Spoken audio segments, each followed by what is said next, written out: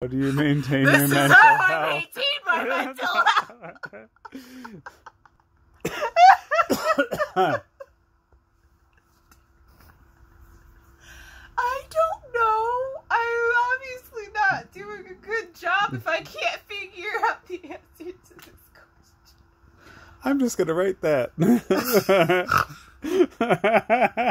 Oh.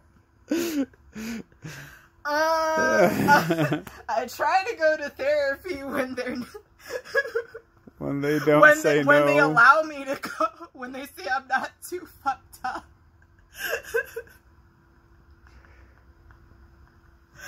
or they're not trying to secretly fuck me over.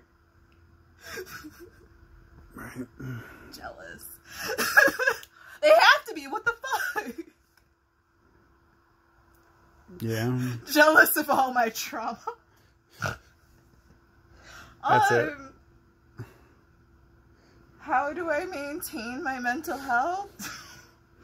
Seriously though, I don't know. What do I do? I let I I laugh a lot.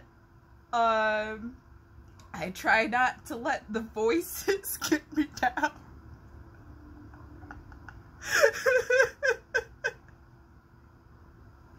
Not my voice, voices, the other voices. Glad you clarified. That that's gonna really help in the from my interview piece. Normally my family's voice, mostly my mother's voice. Those voices. I'm I'm good I'm good. I like to layer it in so I sound a little more than I am. Or am I? I'm very self-aware. Um, no, seriously, I, I, I think that's kind of my answer.